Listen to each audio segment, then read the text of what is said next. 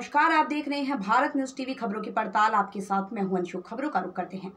गर्मी मौसम में पंजाब भर में लग रहे पावर बिजली कटों से एक तरफ़ किसान, दूसरी ओर प्रदेश की जनता का जीवन बद से बदतर हो चुका है। किसानों को लगातार आठ घंटे बिजली सप्लाई ना देने और शहरों में लगातार लग रहे बिजली कटों के रोष से लोगों में आक्रोश है। शिरोमणि अकाली दल पार्टी अध्यक्ष सुखबीर बादल के दिशा निर्देशों पर पंजाब भर में जिला हेडक्वार्टरों में बिजली विभाग के मुख्य दफ्तरों से बाहर पंजाब कैप्टन सरकार व पंजाब बिजली विभाग के खिलाफ धरना प्रदर्शन किया और सरकार विरोधी नारे लगाए ਵਾਹਿਗੁਰੂ ਜੀ ਕਾ ਖਾਲਸਾ ਵਾਹਿਗੁਰੂ ਜੀ ਕੀ ਫਤਿਹ ਅੱਜ ਜਿਵੇਂ ਆਪਾਂ ਸਾਰੇ ਜਾਣਦੇ ਹਾਂ ਕਿ ਸਾਡੇ ਸ਼੍ਰੋਮਣੀ ਅਕਾਲੀ ਦਲ ਦੇ ਪ੍ਰਧਾਨ ਸਾਹਿਬ ਸਰਦਾਰ ਸੁਖਬੀਰ ਸਿੰਘ ਜੀ ਬਾਦਲ ਸਾਹਿਬ ਦੇ ਵੱਲੋਂ ਪੂਰੇ ਪੰਜਾਬ ਦੇ ਅੰਦਰ, ਪੂਰੇ ਪੰਜਾਬ ਦੇ ਅੰਦਰ ਜੋ ਕੈਪਟਨ ਸਰਕਾਰ ਨੇ 4.5 ਸਾਲ ਪਹਿਲਾਂ ਵਾਅਦੇ ਕੀਤੇ ਸੀ ਪੰਜਾਬ ਦੇ ਲੋਕਾਂ ਦੇ ਨਾਲ ਔਰ ਉਹਨਾਂ ਚੋਂ ਇੱਕ ਵੀ ਵਾਅਦਾ ਪੂਰਾ ਨਹੀਂ ਕੀਤਾ ਤੇ ਖਾਸ ਤੌਰ ਤੇ ਮੈਂ ਸਮਝਣਾ ਅੱਜ ਜਿਵੇਂ ਪੰਜਾਬ ਦੇ ਅੰਦਰ ਜੋ ਬਿਜਲੀ ਦਾ ਹਾਲ ਹੋ ਗਿਆ, ਬਿਜਲੀ ਦੇ ਐਡੇ ਐਡੇ ਵੱਡੇ ਅਨਸ਼ੈਡਿਊਲ ਜਿਹੜੇ ਪਾਵਰ ਕੱਟ ਲੱਗ ਰਹੇ ਨੇ ਜਿਨ੍ਹਾਂ ਦੇ ਕੋਈ ਲਿਖਤੀ ਗੱਲ ਹੀ ਹੈ ਨਹੀਂਗੀ। ਔਰ ਅੱਜ ਪੰਜਾਬ ਦਾ ਕਿਸਾਨ ਇੱਕ ਪਾਸੇ ਤਾਂ ਪਹਿਲਾਂ ਹੀ ਬਹੁਤ ਹੀ ਸੰਘਰਸ਼ ਕਰ ਰਿਹਾ, ਦਿੱਲੀ ਦੇ ਬਾਰਡਰਾਂ ਤੇ ਜਾ ਕੇ ਬੈਠੇ ਨੇ, ਕਿੰਨੇ ਸਾਲ ਸਾਲ ਹੋ ਚੱਲਾ। ਔਰ ਨਾ ਸੈਂਟਰ ਗਵਰਨਮੈਂਟ ਸੁਣ ਰਹੀ ਆ, ਨਾ ਪੰਜਾਬ ਸਰਕਾਰ ਸੁਣ ਰਹੀ ਆ। ਦੂਜੇ ਪਾਸੇ ਉਧਰੋਂ ਕੁਦਰਤ ਦੀ ਵੀ ਐਸੀ ਕਰੋਪੀ ਕੋਈ ਮੀਂਹ ਨਹੀਂ ਪੈ ਰਿਹਾ, ਬਰਸਾਤ ਨਹੀਂ ਹੋ ਰਹੀ।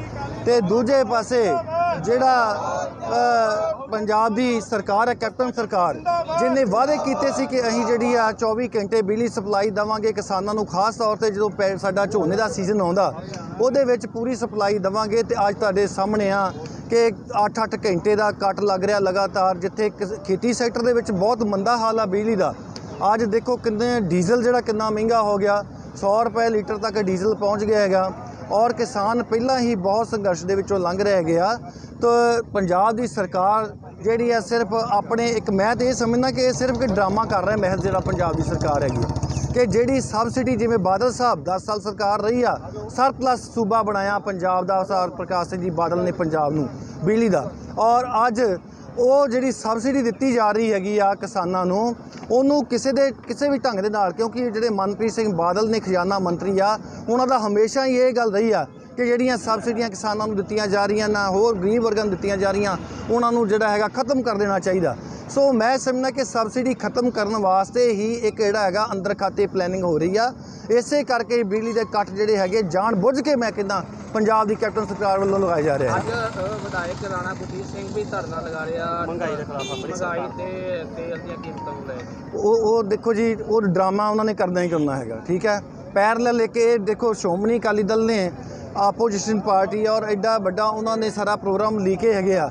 ਤੇ ਰਾਣਾ ਗੁਰਜੀਤ ਸਿੰਘ ਜੀ ਇੱਥੇ ਦੇ ਰਹੇ ਹੈਗੇ ਆ ਧਰਨਾ। ਮੈਨੂੰ ਤੇ ਇਹਦੇ ਬਾਰੇ ਪਤਾ ਨਹੀਂ, ਤੁਸੀਂ ਇਹ ਦੱਸਿਆ ਹੈਗਾ। ਤੇ ਆਪਾਂ ਦੇਖਦੇ ਹੀ ਆ, ਸਰਕਾਰ ਉਹਨਾਂ ਦੀ ਆ ਪੰਜਾਬ ਦੇ ਵਿੱਚ। ਐਮਐਲਏ ਉਹ ਆਪ ਆ, ਵਜ਼ੀਰ ਉਹ ਆਪ ਰਹੇ ਆ। ਤੇ ਧਰਨੇ ਕਾੜੇ ਦੇ ਰਹੇ ਹੈਗੇ ਆ? ਇਹ ਫਿਰ ਡਰਾਮਾ ਜਿਹੜਾ ਪੱਕਾ ਹੀ ਹੋ ਰਿਹਾ ਹੈਗਾ। ਮੈਂ ਤੇ ਇਹ ਸਮਝੂੰਗਾ ਕਿ ਡਰਾਮਾ ਜਿਹੜਾ ਪੱਕਾ ਕਰ ਰਹੇ ਹੈਗੇ ਆ ਜਿਹੜਾ ਹੈਗਾ, ਜੋ ਪੰਜਾਬ ਸਰਕਾਰ ਦੀਆਂ ਜਾਂ ਕੈਪਟਨ ਅਮਰਿੰਦਰ ਸਿੰਘ ਦੀ ਜਿਹੜੀ ਗੱਲ ਹੈਗੀ ਆ, ਕਿ ਇਹ ਸਬਸਿਡੀ ਕਿਸੇ ਹਿਸਾਬ ਨਾਲ ਖਤਮ ਕਰਨੀ ਆ, ਇਹ ਮਹਿਜ਼ ਇੱਕ ਡਰਾਮਾ ਵਾ। ਸੋ ਅੱਜ ਅਸੀਂ ਸ- ਕਪੂਰਥਲਾ ਹਲਕੇ ਦੇ ਵਿੱਚ ਸਾਡੀ ਸ਼੍ਰੋਮਣੀ ਅਕਾਲੀ ਦਲ ਦੀ ਸਮੁੱਚੀ ਲੀਡਰਸ਼ਿਪ ਸਾਰੀ ਬੈਠੀ ਆ, ਸਾਰੇ ਵਰਕਰ ਸਾਹਿਬਾਨ ਬੈਠੇ ਨੇ, ਸਾਰੇ ਪ੍ਰਧਾਨ ਸਾਹਿਬ ਬੈਠੇ ਹੈਗੇ ਆ, ਔਰ ਅੱਜ ਅਸੀਂ ਸਾਰੇ ਹਲਕਾ ਕਪੂਰਥਲਾ ਦੇ ਵਿੱਚ ਜੋ ਸਾਨੂੰ ਸਰਦਾਰ ਸੁਖਬੀਰ ਸਿੰਘ ਜੀ ਬਾਦਲ ਦਾ ਮੈਸੇਜ ਹੈ ਕਿ 10 ਤੋਂ ਲੈ ਕੇ 12 ਵਜੇ ਤੱਕ 12 ਵਜੇ ਤੱਕ ਆਪਾਂ ਜਿਹੜਾ ਉਹ ਧਰਨਾ ਦੇਣਾ ਹੈਗਾ। ਸੋ ਕਿਉਂਕਿ ਅੱਜ ਦੇਖੋ, ਪਿੰਡਾਂ ਦੇ ਵਿੱਚ ਬਿਜਲੀ ਦੇ ਕੱਟ ਲੱਗ ਹੀ ਰਹੇ ਨੇ। ਸ਼ਹਿਰ ਦੇ ਵਿੱਚ ਵੀ ਬੁਰਾ ਹਾਲ ਹੋਇਆ ਹੋਇਆ 8-8 ਘੰਟੇ ਲੋਕ ਜਿਹੜੇ ਨੇ ਵਿਚਾਰੇ ਤਰਸ ਰਹੇ ਨੇ। ਕੋਈ ਹਾਲ ਨਹੀਂ 21000 ਦੇ ਕਰੀਬ ਜਿਹੜਾ ਟਰਾਂਸਫਾਰਮਰ ਹੈਗੇ ਆ, ਖੇਤੀ ਸੈਕਟਰ ਦੇ ਜਿਹੜੇ ਉਹ ਖਰਾਬ ਹੋ ਚੁੱਕੇ ਨੇ, ਸੜ ਚੁੱਕੇ ਨੇ। ਤੇ ਸ਼ਹਿਰੀ ਕਿੰਨੇ ਹੋਏ ਆ?